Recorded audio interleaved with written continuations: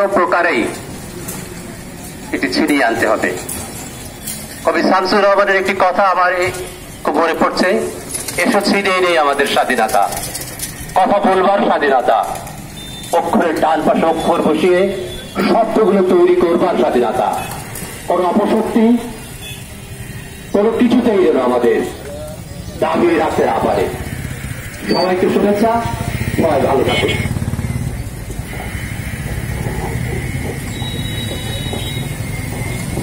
এরপর যে বক্তব্য রাখার জন্য আহ্বান জানাচ্ছি আমাদের দৈনিক বণিক বার্তার